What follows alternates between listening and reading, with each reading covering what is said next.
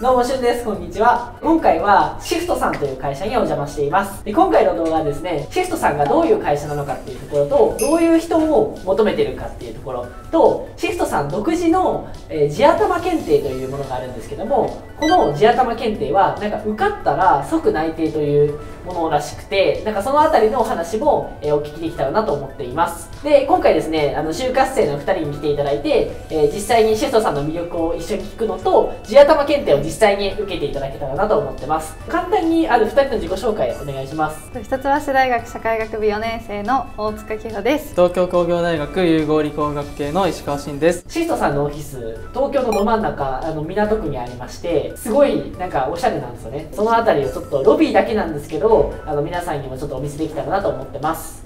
東京タワーが目の前なんですよね。まあ、近すぎて見えない。頭が見えない上が全然見えない、うん。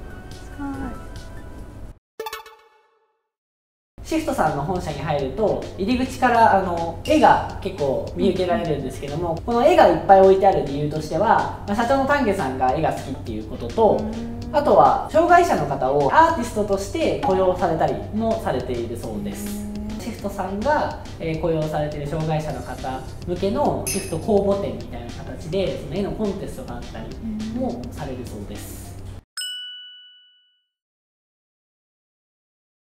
今回シフトさんのあの魅力であったりとか地頭検定に関するあのご説問をいただくお二人にお越しいただきました。よろしくお願いします。よろしくお願いします。よろしくお願いします。シフトの人事、えーと、監修役員の菅原と申します。採用担当しております小林と申します。よろしくお願いします。まずなんですけどもシフトさんはどういった会社かっていうところをお聞きしてもよろしいですか、はい、シフトはですねまず IT 業界の中でソフトウェアのテストとか品質というところをまず一つのサービスとして持ってます。2005年の創業なんですけれども2010年からそのサービスをこう始めましておかげさまでというか1.5倍成長を12年連続でしているんですね。非常にこう自分で言うのも恥ずかしいんですけど 成長しているベンチャー企業でございまして、はい、11期連続1.5倍以上成長している企業が日本に2社しかないっていう話を先ほどお聞きしたんですけど、はい、その2社のうちの1社っていう、1社ですね。しかも成長率はもしかしたらシフトの方が上かもしれない。えちなみに組織の文化としてはどういう感じの会社の雰囲気とか、まあ、ちょっと後にもつながってくるんですけど、はい、成長が非常に著しいので、うん、むしろその変化を厭わないというか、うん、変化が好きな楽しめる方っていうのが非常に多い方ですね、うん、私は中途入社なんですけれど、まあ、入社してすぐにできるんだったらこれ任せるよっていうところでどんといろいろ任せていただいたりして、そういう意味でも年次とかっていうよりかは、なんか皆さん一人一人のパーソナルの部分を見た上で、どういう仕事したいかっていうところをちゃんと聞いて、仕事に当て込んでいただける、で普段のコミュニケーションはすごくフラットに行うっていうような雰囲気がある会社なのかなと思います。時価総額も4000億超えてて一般的には大手企業の部類に入ると思うんですけど、えー、風土としては結構ベンチャー気質というか、はい、そうですね。文化の部分とあとは事業が伸びているっていうところをお聞きしたんですけど、シフトさん独自の魅力って他にもしあったら教えていただきたいシフト独自の魅力、はい、明確な評価制度であったりとか。あとはあの結構数字で語る文化があるなと思って。数字で語る徹底的に KPI を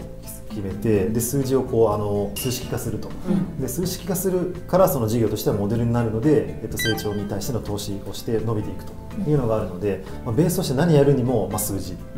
ていうのは、うん、徹底的であります、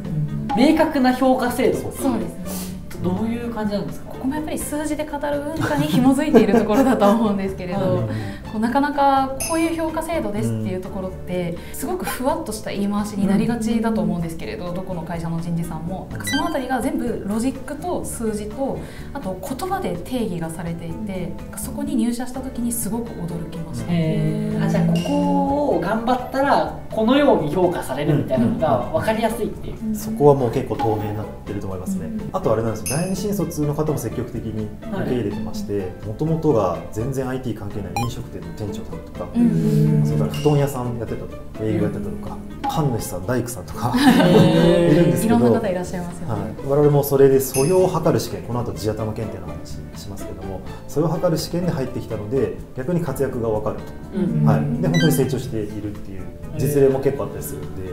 いろんな人がいるっていうのも魅力の一つかな。います。確かに。シフトさんとしてどういった方を採用したいかっていうところをお聞きしたいです。今8000人の従業員いなってきているんですけれどもそこでいろんなその役割がこうできてきてましてで例えばテスト。それはテストの設計とか実行とかっていうことが役割としてあったり、はい、まあ、それからその開発プロジェクトマネージャーコンサルタントセキュリティエンジニアとかこうたくさんこういるんですけれども、まあ、その中でも知識とか経験ではなくて、まあ、素養がある方がまずは入ってきてもらえると、そのキャリアに従ってこう伸びていくっていうのが分かってきているので、まあ、素養がまずは本当に見極めるというかですねそこでその検定試験受けてもらって入っていただきたいなというふうに思ってますし、あとはそこの会社の選ぶ中身でいうとやっぱり共感していただくというか、まあ、シフトのやろうとしていることが楽しいと思っていただける、まあ、そんな学生さんが入ってきていただくと嬉しいなと思います、はい、素養でいうとどうどういった素養ですか？仕事を分解してでそこから組み立てるという点ですと論理的な思考能力ですとか、まあ、それからその物事を抽象化していったり具体化していったりっていうのを行ったり来たりする必要があると思うので、まあ、それができる素養っていうのを見に、はい、じゃあそれで地頭検定とかあそうですそうですそうです。ね。はい。2つ質問があって、はい、1つ目が土文系の学部にいて、まあ、そういう人でも活躍できるのかなっていうのと、うん、2つ目はそれにまあ紐づいてそ今まで IT に触れてこなかった人がまあ、どういう教育制度を受けて活躍できるのかっていうのをお伺いしたいです。活躍の度合いに本当に理系文系での差はないと思っています、うん、新卒の方でも毎年3割から4割の方は文系ご出身の方がご入社されてますしでその後研修がこう新卒の方向けだと2か月間しっかりとした研修があるんですね、でそこで皆さんテストのことを考えるのって理系の人も文系の人も基本的には初めてのことなので、そこでしっかりと基礎を学学んでいただいてでそこから自分自身で自分の力を示していくっていうことも制度としてあるのでそこからの伸びっていうところには分離での差っていうのはほとんどないのかなと。でまたもともと入社されてる方々って地頭検定というものを突破してご入社されている方々なのでうちで必要な頭の使い方っていうのができる方々なんですね。でやっぱりそこは分離の差じゃないっていうのがお答えになるのかなと。傾向的に理系の方が多いかもしれないけれども、ね。うん、ただそこはもう分離関係なく活躍はします、ということであのお二人にあのシフトさんで今行われている地頭検定というものがあるんですけどこの後受けていただきたいなと思ってます、でこれが、まあ、いい成績であったりとか、えー、受かると、まあ、即内定の場合もあるっていう、はい、私も聞いたので頑張っていただいて、はい、あのシフトの魅力を知ったということで、はい、モチベーション高く受けていただけたらなと思いますじゃあこれからシングルと一緒にじゃあ頭検定受けます。頑張りましょう。頑張りましょう。終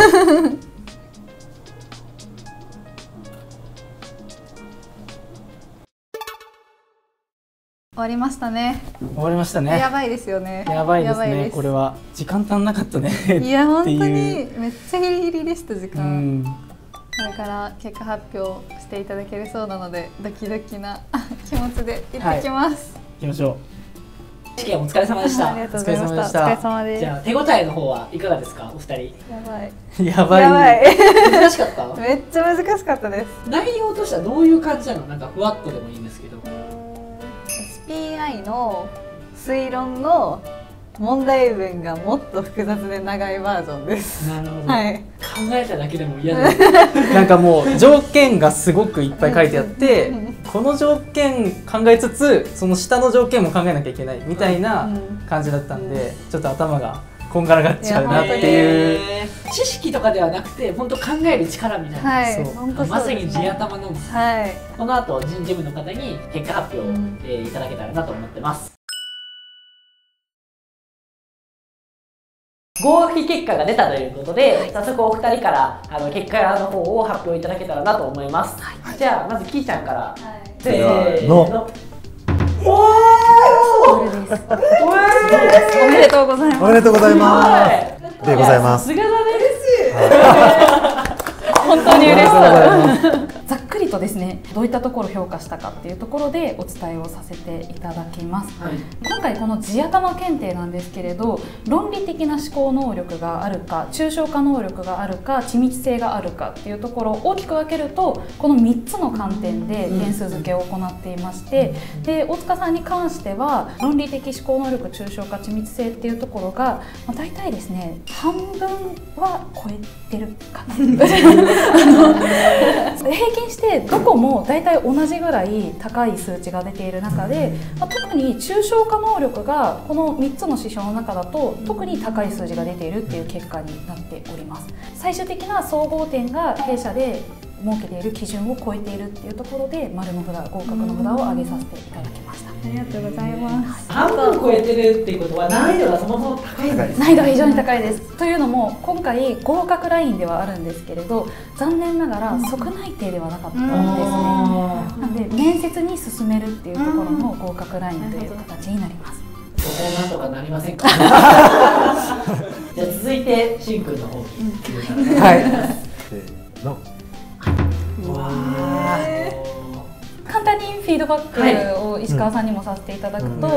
得点率として抽象化能力と論理的思考能力っていうのは一定高い得点を得ていたんですけれど、緻密性が異様に低かった。雑ってことだってもしかしたらどこかで計算ミスしちゃってたりとかかなり細かい計算問題もあったと思うんですけど、中には、レベルとしてはこう足し算引き算の繰り返しだったりはするんですけれど、そのうち一つでも落としてしまうと、答えにたどり着かないっていうものがあったと思うので、そこだったかもしれないです。そうその点だけですもんね。その点だけですね。あ、そうなんですね。はい。だったってことですそうです。ここが他水準に近い形で取れていたら同じく合格ラインだったので、えー、悔しい。めちゃめちゃ悔しいですね。ね。名前変えてもう一回受けるとか。その名前で今後生きていくことになります。